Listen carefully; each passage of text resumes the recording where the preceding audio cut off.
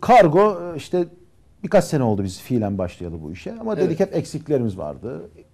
Tanıtımda bazı problemlerimiz vardı. Belki de iyi hizmette zaman zaman veremiyorduk falan gibi ama artık e, oldukça iyi yerlere geldik kargoda da. Evet. Şu anda kargo fiyatlarımız e, oldukça e, hesaplıdır kesinlikle.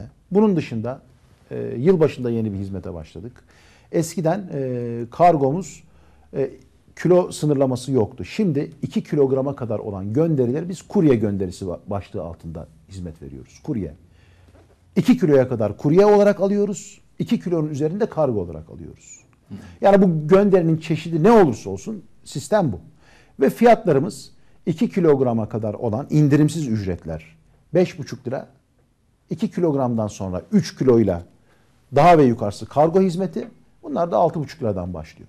Ama bunun yanında bizim toplu gönderilerde Esas, esas indirim tabii yaptığınız yer. burada. Evet. Toplu gönderilerde bakın diyelim bir kuruluşun, bir fabrikanın, bir işletmenin 1500 tane gönderisi var. Buna yüzde 40, 35, 40 civarında indirim uyguluyoruz. Aylık mı bu? Aylık tabii.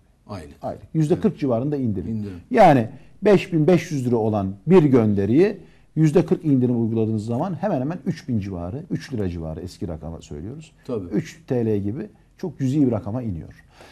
Burada bir espri de şu. Bakın şimdi e, vatandaşlarımız bilmediği bir hizmet, hizmette toplu davetiyeler. Bu yani düğünler, merasimler, açılışlar. Vatandaşımız bize bu şekilde gelirse mesela diyelim sayı 5 bin, 10 bin, 15 bin davetiye bunlar da o kadar cüzi fiyatlar vereceğiz ki kendileri de şaşıracak.